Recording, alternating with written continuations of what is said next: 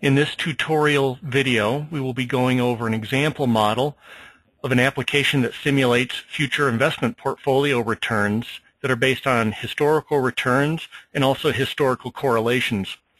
We'd like to highlight here several unique ModelRisk features, which are objects, copulas, and fitting. We won't be able to go into too much detail, so if you'd like more information, I would encourage you to look at the ModelRisk help file. In our situation or for our model, we'll first start with a set of data, which we have loaded in a separate tab. What we have is some historical returns for both equity and bonds. These are normalized returns. The first step is to convert them to log returns. So we convert into log space. So we now have the historical returns in, in a log return format. On the model side, what we do first is we generate data objects.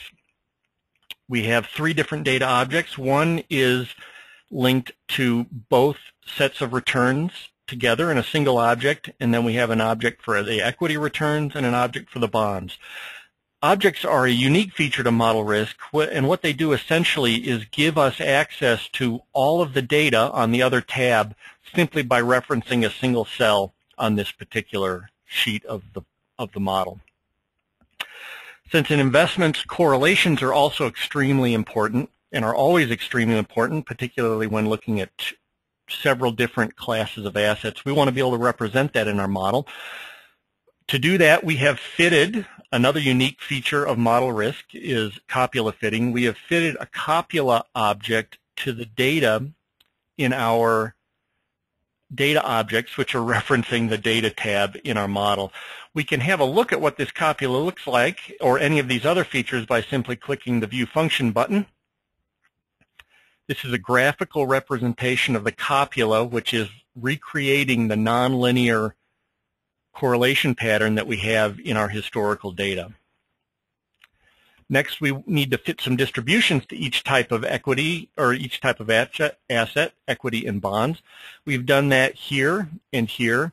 These are what we call Vose fit objects. Again, a unique feature to ModelRisk. What we have done is we have fitted a distribution to the data for the equity. The best fitting distribution was the HS distribution, which stands for hyperbolic secant. And then we've put it in our spreadsheet also as an object. Again, the point being is we can refer to this fitted distribution simply by referencing this cell. If the distribution fit changes, or if any of the data changes, that automatically cascades through the entire model to our fitting. And so we don't need to go back and rechange every time we update our data. We've done the same thing on the bond side. The best fitting function, excuse me, distribution is the error function. You can see a picture of the fit here. Now we have our two fitted distribution objects in our model. We're going to use an asset allocation of 25% equity and 75% bonds. And then we're going to build the actual functioning part of the model. We're going to start here. Our data on the prior sheet goes through October of 2007. We're going to try to forecast out one, two, three, four, five, six, seven, eight, nine months into the future on a monthly basis. What we first need to do is take samples for each of the future months from our copula object. And you can see what we use is the Vose simulate function. We use Vose simulate and we reference the copula object here in cell E15. And what we have here is a set of matched values that go between 0 and 1. If we recalculate the sheet, you can see both values change. And because we're referencing the copula fitted to our historical data, these two sets of values for each month follow the same correlation pattern that is in our historical data. Next, we want to generate some log returns for each of our asset classes. So again, we do these in pairs by month. And the way we do this is, again, we use the Vose simulate. In this case, we're taking a sample of the equity distribution that we've previously set up as an object, but we say comma D6. So we then refer to this particular copula that we've set up for this month. That's called a U value. And so essentially what we have is we have a set of log returns here, which are samples from our two fitted distributions. However, those two samples are correlated based on the copula, which is also fitted to our data. We do that for all of the nine months in our forecast. So we get log returns for each of those months every time we recalculate. Since we're working in log space and we really want to come back, we want to come out of log space to look at our actual returns, what we do is we find the cumulative return for each of the type of distributions by, by converting back out of log space. And then we can apply the weightings that we've set up earlier for our portfolio, 25% equity, 75% bonds. And what we have here in this series of data are the correlated future forecasted returns based on our historical data and our historical correlations.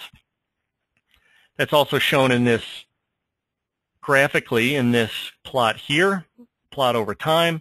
If we recalculate multiple times, we can see that uh, for every calculation, because this is a stochastic model, we get a different set of returns.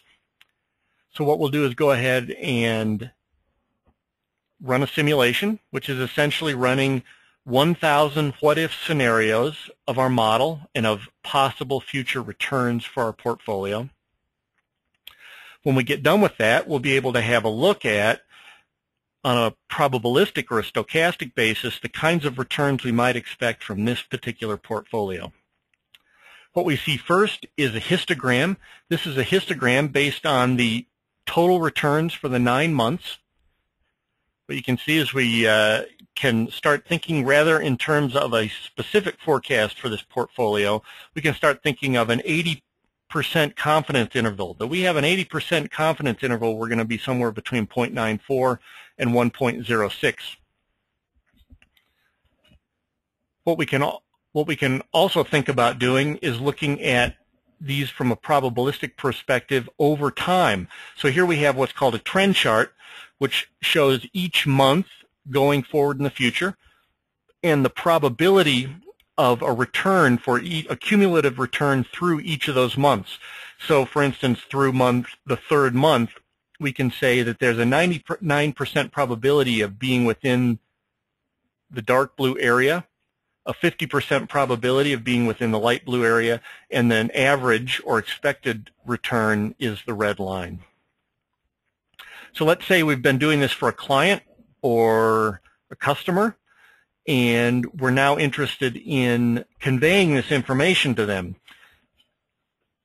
A very nice, unique feature within ModelRisk is this results viewer window. What we can do is go ahead and click the Save button, save this to a file, email it to our client or customer. They can go to the Vose software website, download a very small free application, and then review all of this data in the same format that you're we're viewing it now. They can manipulate it. They can look at it from different angles. They can look at the actual samples from the simulation as well as statistics and so on. So just to recap, we've shown a very simple model of forecasting a portfolio, but we've used many real-world tools. We've used objects, copulas, fitting, we're, we're fitting our future returns to our past returns and our future correlations to our past correlations. So this is really a very practical, very real-world model. Hope you found it interesting.